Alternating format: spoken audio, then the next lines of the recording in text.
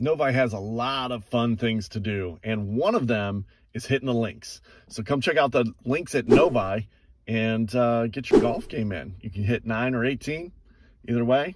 Hopefully you hit them long, hopefully you hit them straight.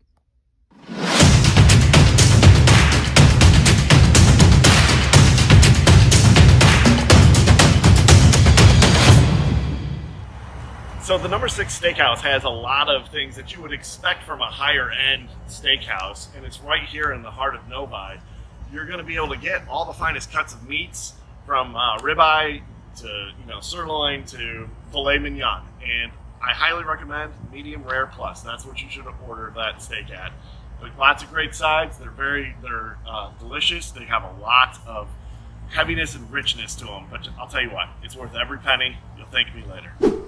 Toasted Oak in Novi is one of the hot spots if you're a foodie because it's a little bit different, but it has that uh, that menu that is reflective of local markets, uh, local farmers that bring their food here, and so it's a uh, farm to table experience, and the food is delightful. I mean, obviously it's incredibly fresh, and it's got a wide range, but I highly recommend you check that out if you're looking for a night out or a cool place to hang and just have a good conversation, they got a nice little fireplace in here too really nice. It sets the mood, and it's delicious food.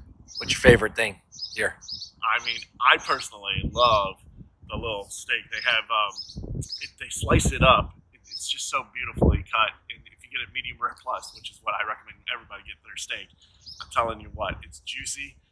They have fingerling potatoes too, roasted fingerling potatoes that I've had here. Sometimes they're on the menu, sometimes they're not, but I'm telling you what, they're, they're totally delicious. And if you can score those, I'm telling you, nothing better.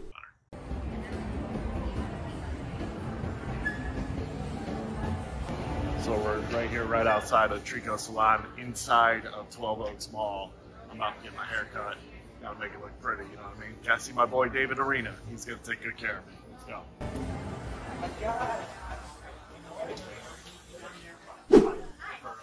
Yeah, we gotta do uh, the experience. What? The experience with David Arena.